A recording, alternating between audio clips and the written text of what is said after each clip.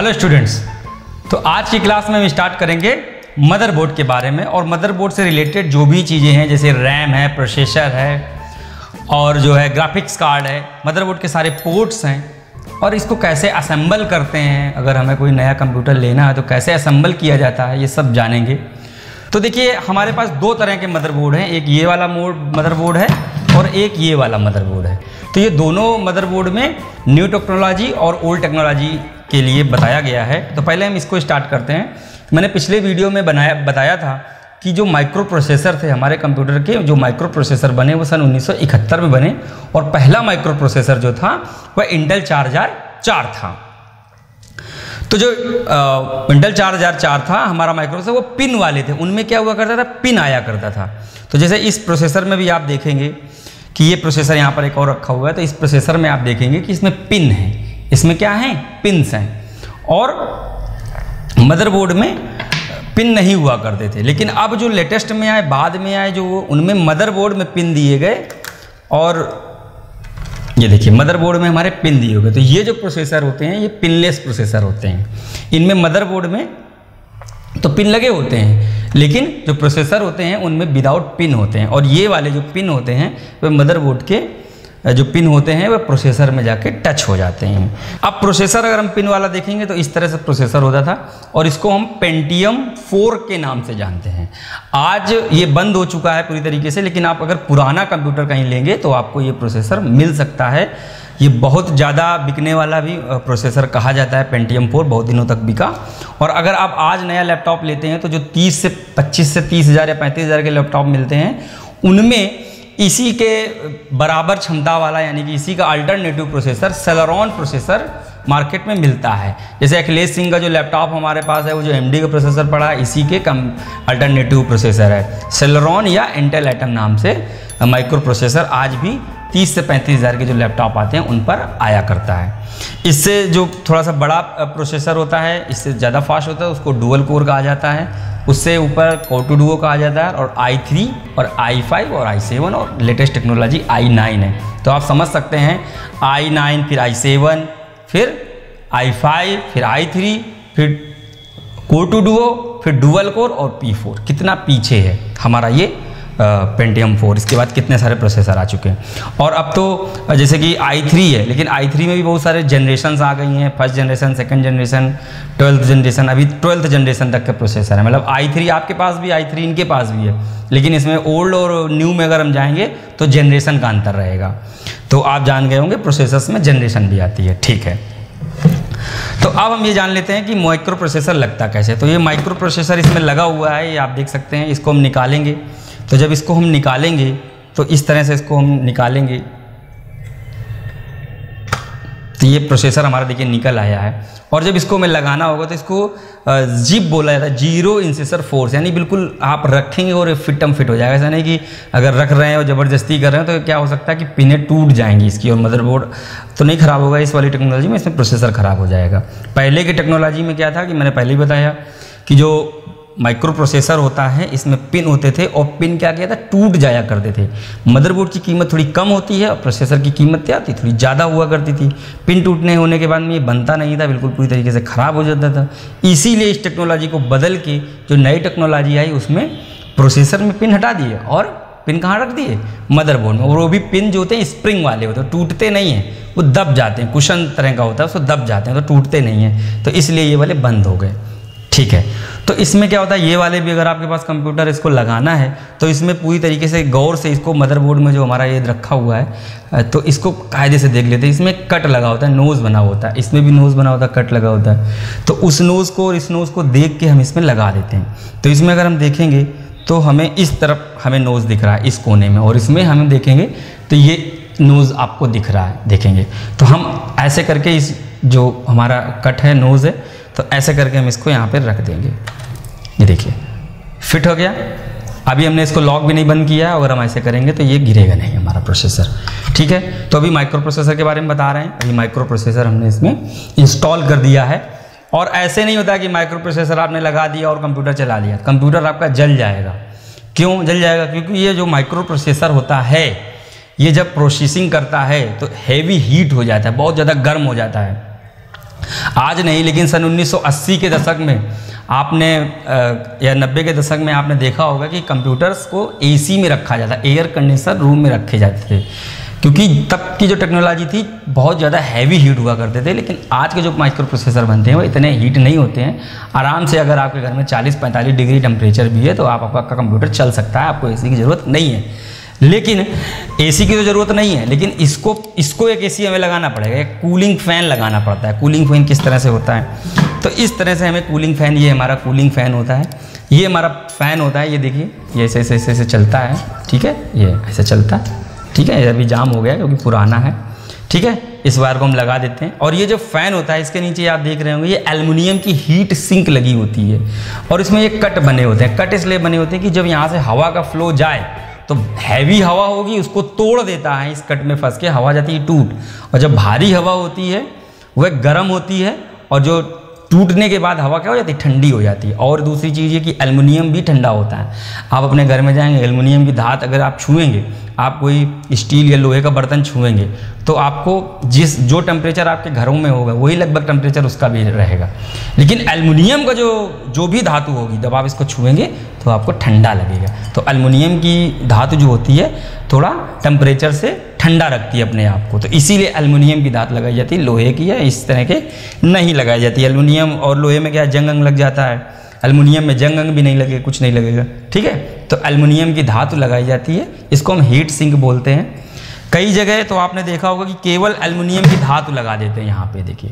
केवल यहाँ कोई फ़ैन नहीं है। यहाँ पर मदरबोर्ड में क्या होता है? दो ब्रिज बने होते हैं। एक तो प्रोसेसर हो गया, उसके बाद में दो ब्रिज बने होते हैं। एक नॉर्थ ब्रिज नॉर्थ ब्रिज और एक साउथ ब्रिज तो जो साउथ ब्रिज है, इसमें छोटा हीट सिंह ये छोटा काम करता है और थोड़ा सा कम हीट होता है। काम तो दोनों लगभग सभी करते हैं। लेकिन ये कम हीट होता है तो इसमें छोटी हीट सिंग लगा देते हैं, इसमें बड़ी हीट सिंग लगा देते हैं। केवल हीट सिंग लगाई फ़ैन नहीं लगाया है। लेकिन प्रोसेसर ज़्यादा हीट होता है। इसीलिए क्या करते हैं कि इसको फ़ैन लगाते हैं। देखिए, आप इसमें देखेंगे कि ये फ़ैन इसमें इस तरह से फिट कर दिया जाता है। ठीक है? फ़ैन चलता है। तो थोड़ी बहुत हवा इन बगल वालों को भी दे देता है इनको भी दे देता है इनको भी दे देता है। मेनली हवा हमारे प्रोसेसर को चाहिए होती है। तो आप प्रोसेसर के बारे में जान गए होंगे कि प्रोसेसर पिनलेस होते हैं सारी चीज़ें हो गई वो प्रोसेसर लगाते कैसे हैं नोज़ देख के लगाते हैं और इसके ऊपर फ़ैन लग रखते हैं। ये फ़ैन जो होता है केवल और केवल फ़ैन का कोई काम नहीं है फ़ैन का कोई ज़रूरत नहीं है लेकिन फ़ैन केवल और केवल ठंडा करने का काम करता है कि इसमें छोटी सी 12 वोल्ट की आ, मोटर लगी होती है और ये वायर होते हैं हमारे मदरबोर्ड में यहाँ पर ये वाला जो पिन दिया होता है, इससे इसको सप्लाई से जोड़ दिया जाता है। तो फ़ैन के बारे में आप जान गए हैं। अब दूसरा हम जानेंगे इसमें ये हमारा फ़ैन हो गया। यहाँ पर क्या होता है, ये सी बैटरी होती है। यहाँ पे स्लॉट दिया गया होता है। इस वाले बोर्ड में ये बैटरी लगी हुई है। ये आप देख रहे होंगे, यहाँ पे सी एम बैटरी बहुत बार पूछा गया इसका full form C M O S ठीक है सी एम ओस बैटरी इसका काम क्या होता है? हमारे मदरबोर्ड में जो बायोस होता है, जो सॉफ्टवेयर होता है, इसको फर्मवेयर सॉफ्टवेयर बोलते हैं, उसमें डेट और टाइम सेव रहता है। आपने देखा होगा कंप्यूटर हमारा, हम एक महीने भी ना चलाएँ, लेकिन जब कंप्यूटर ऑन करेंगे तो उसकी डेट और टाइम सही रहती है। तो उसको कोई तो है जो बैटरी है, कोई तो छोटी सी बैटरी लगाई गई है। तो छोटा सा सेल होता है, ये पंद्रह बीस रुपए का मिलता है, वो कैलकुलेटर में भी ये सेल लगता है। जो बड़े बड़े कैलकुलेटर आते हैं, उनमें भी, बड़े क्या नॉर्मल जो कैलकुलेटर आते हैं, उनमें भी ये सेल लगता है दस बीस रुपये का होता है। कंप्यूटर में भी लग जाता है सी बैटरी इसका नाम है, ठीक है दस बीस रुपये का मिल जाता है। साल, दो साल के अंदर ये ख़राब भी हो जाती है बैटरी फिर बदलनी पड़ती है। अगर बैटरी ख़राब हो जाएगी तो क्या होगा, जब भी आप हर बार अपने कंप्यूटर में टाइम सेट करेंगे तो टाइम जब सेट करेंगे तो टाइम जो है ख़राब मिलेगा। इस बार जैसे कंप्यूटर ऑन है, वो टाइम आपने सेट कर दिया।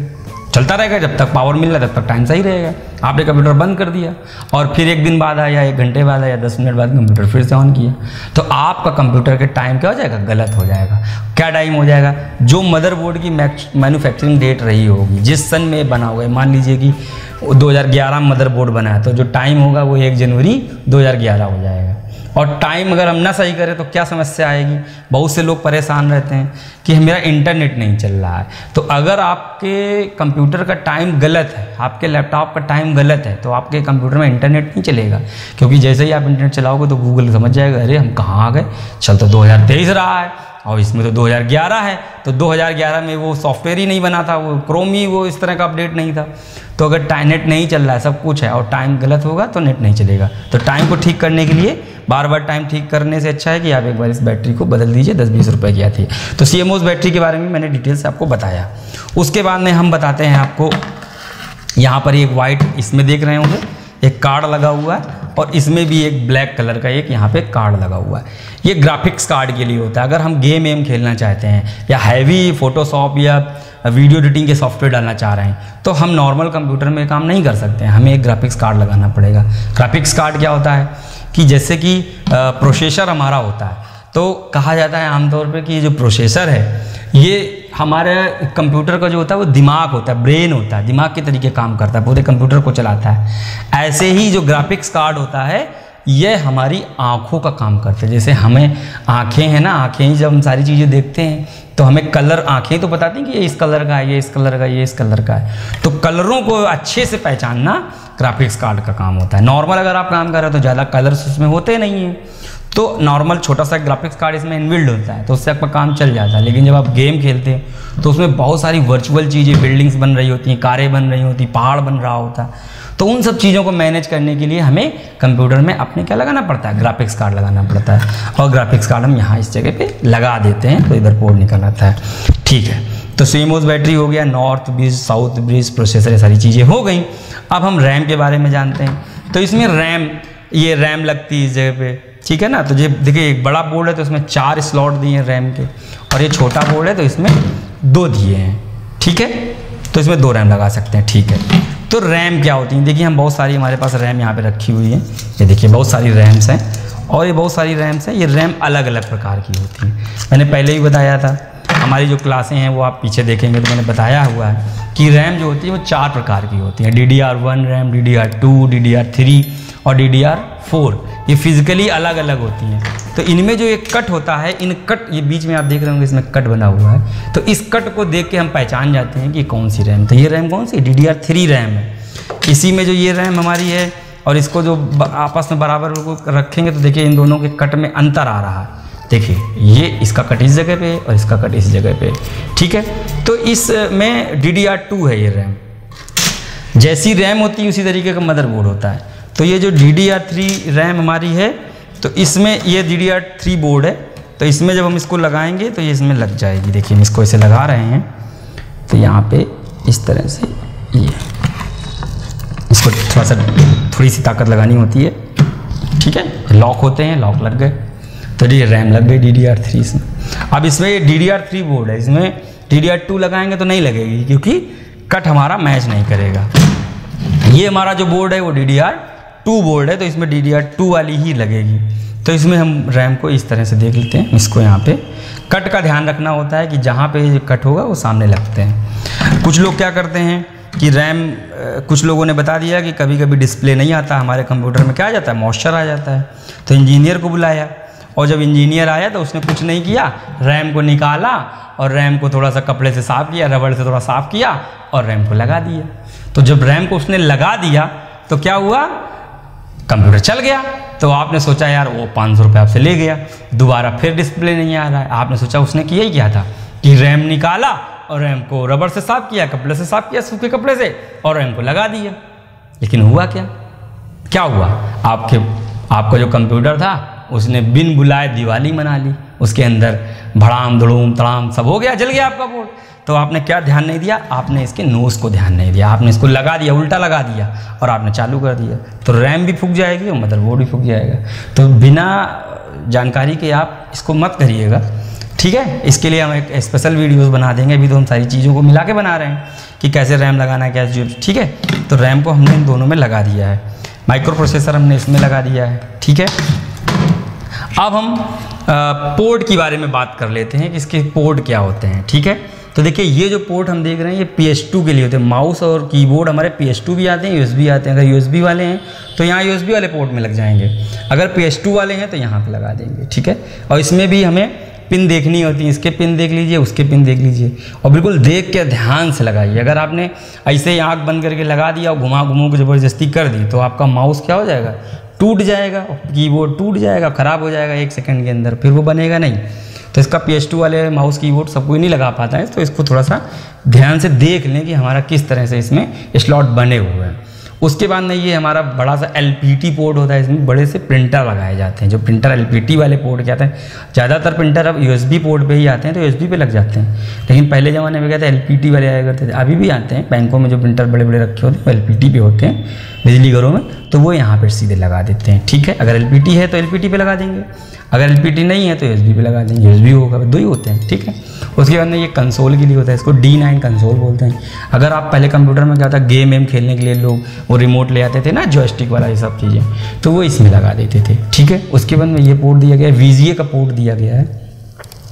यहाँ पर हम जो हमारा कंप्यूटर से जो हमारा मॉनिटर कनेक्ट होता है टीवी कनेक्ट होती है, उसको यहाँ पे हम लगाते हैं। ठीक है?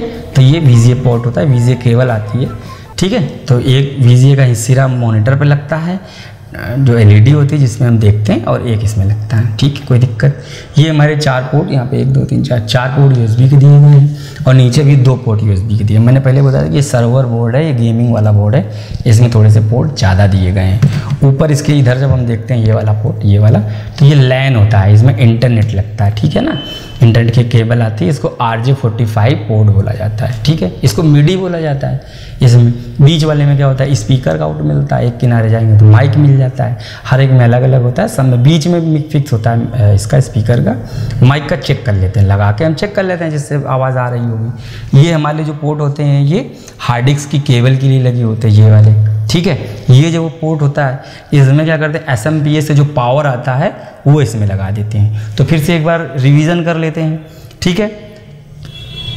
ये वाला पोर्ट क्या है? इसमें एस लगाते हैं। ये वाला पोर्ट हार्ड हार्डिक्स होता है। हार्ड हार्डिक्स जो पुराने टेक्नोलॉजी की हार्ड हार्डिक्स हुआ करती थी, वो इसके लिए पोर्ट दिया गया। इस बोर्ड में दोनों टेक्नोलॉजी की है। नई टेक्नोलॉजी की हार्ड हार्डिक्स है तो इस वाले में लगा दो। पुरानी टेक्नोलॉजी की हार्डिक्स है तो इसमें लगा इसको आईडीई पोर्ट बोला जाता है और इसको साटा पोर्ट बोला जाता है। ठीक है? ये हमारा क्या होता है? ये साउथ ब्रिज होता है। ये हमारा नॉर्थ ब्रिज होता है। ये हमारा एस सी एम ओज होता है। ठीक है? और ये हमारा प्रोसेसर होता है। ठीक है? ये हमारे सारे पोर्ट होते हैं। ये हमारे पी सी आई स्लॉट होते हैं, ये बचे थे। पी सी आई स्लॉट में क्या होता है कि मान लीजिए आपको कोई एक्सटर्नल चीज़ इसमें लगानी है, ये वाला जो होता है तो ग्राफिक्स के लिए होता है। तो ग्राफिक्स में सिर्फ़ ग्राफिक्स लगेगा, और कुछ ही नहीं। मान लीजिए आपका वीजीए पोर्ट ख़राब हो गया तो आप जब वीजीए पोर्ट ख़राब हो गया तो वीजीए इसका मदरबोर्ड का तो इसमें कुछ कहिया तो लगे ही नहीं कंपोनेंट लेवल पे होता है। तो यहाँ पे आप PCI ला सकते हैं। अगर मीडी बोर्ड ख़राब हो गया तो इसका PCI मिल जाएगा। तो इसमें पीसीआई लगा के ये वाला पोर्ट एक नया पोर्ट यहाँ बन के बन, मिल जाएगा, उसी के साथ जुड़ा हुआ इनबिल्ड होगा। तो यानी कोई भी पोर्ट इसमें ख़राब हो जाएगा तो पीसीआई पे हम लगा के बढ़ा सकते हैं। ठीक है? तो इस तरह से हमारी आज की क्लास हो गई है। आई होप आपको बहुत अच्छे से समझ में आया होगा। और अगर आपको इससे रिलेटेड मदरबोर्ड प्रोसेसर जो भी रिलेटेड आपको कोई समस्या आ रही हो तो आप प्लीज़ वीडियो पर कमेंट करके अपनी जानकारी मांग सकते हैं। और आप हमें बता सकते हैं तो उस तरह का वीडियो हम बना देंगे। और आपको अगर वीडियो पसंद आया है तो भी आप कमेंट करिए, जिससे कि हम आगे इस तरह के और अच्छे अच्छे वीडियो बनाते रहें। और आपके ज्ञान में हम बढ़ोतरी करते रहें, आप आसानी से ट्रिपल सी पास हो जाएँ, आसानी से आप ओ लेवल पास हो जाएँ। और एसएससी सीरियल में भी जो क्वेश्चन पूछे जाते हैं, वो इसी से रिलेटेड होते हैं।